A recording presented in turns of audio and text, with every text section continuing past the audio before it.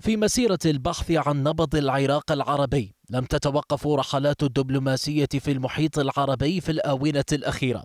فالنهج الذي بدأت تتبعه بغداد بات واضح المعالم مع الحراك العراقي العربي الأخير سيما فتح الملفات التعاونية في الاقتصاد والاستثمار. منها ما جرى مؤخرا بين بغداد وعمان والقاهرة للبدء بمشروع الربط الكهربائي والمدينة الاقتصادية ووضع نواة مشروع المشرق الجديد.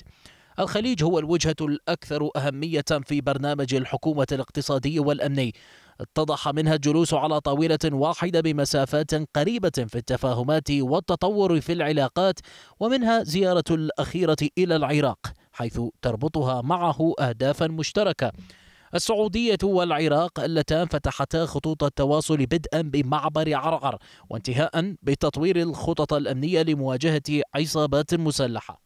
الطريق أخضر أمام الحكومة العراقية مع البيت الخليجي ليس فقط بالاهتمام في زراعة خمسين مليار شجرة ضمن مشروع الشرق الأوسط الأخضر إنما بزراعة تعاون حقيقي يلمسه الشعبان العراقي والسعودي. اليوم تتجه الأنظار إلى الرياض حيث الزيارة التي يجريها الكاظمي للقاء مرتقب مع الملك سلمان وولي عهده بحسب المصادر الحكومية التي كشفت عن فحواها بما يتعلق بالاستثمارات السعودية والتهديدات التي تواجه الرياض من الأراضي العراقية.